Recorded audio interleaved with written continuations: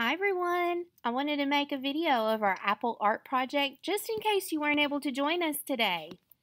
Alright, we're going to get started. You need a clean sheet of paper, a pencil, and some crayons.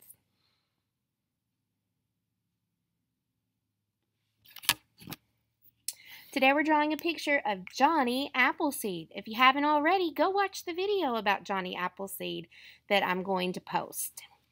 And now we're going to draw his picture. Close to the top of your paper, you're going to draw a U shape. And this is going to be his face. So inside, we're going to draw his nose and his eyes. Remember, you can pause this video anytime you need to to catch up with where I'm at. I'm going to draw a little U shape for his smile. Now, as Johnny Appleseed traveled across the Americas, guess what he wore on his head? Not a regular hat, he wore a pot on his head. Let's draw a line across the top of his head. We're going to bank that pot. We're going to go up like a rectangle shape and come down.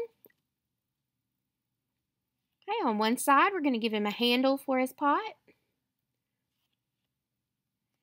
Now let's go back to his face. We're going to add his ears. This is a C shape on this side and a backwards C shape on this side. And then we're going to draw his hair, just a, a line down from the pot to his ear.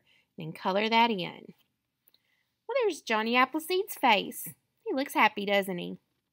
Now we're going to draw his body. So down from each side, you're going to draw a line.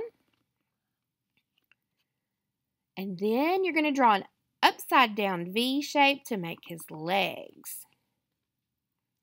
As Johnny Appleseed traveled through the wilderness, he didn't wear any shoes. Let's draw his feet. We're going to draw just little U shapes on the end of his legs. And we're going to draw a line here in the middle to make his waist. Then we're going to give him some shorts. His shorts were kind of torn. Make some jagged lines here. Very good. Now we're going to draw something special that he carried. He carried a bag. And inside the bag, do you know what was in there? Apple seeds. Draw two diagonal lines across his chest.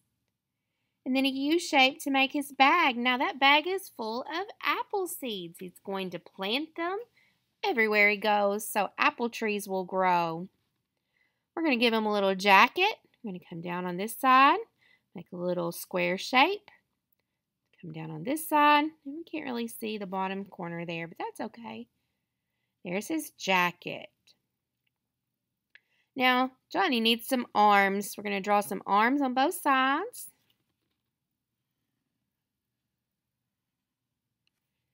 And that's pretty much it for Johnny Appleseed, but you can add lots of details to your picture if you'd like. I'm going to draw a line down here to show that he's standing on the ground. He's not floating up in the air going to give him an apple in this hand, just a little circle shape and a stem. When you color that in, it is going to look just like an apple. On this side, you might give him a walking stick. He's got to walk through the wilderness. You might need a walking stick. And you can add some details to your picture. You might put some little apples on the ground.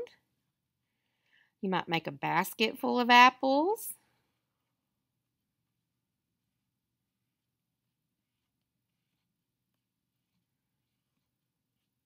A big one, isn't it?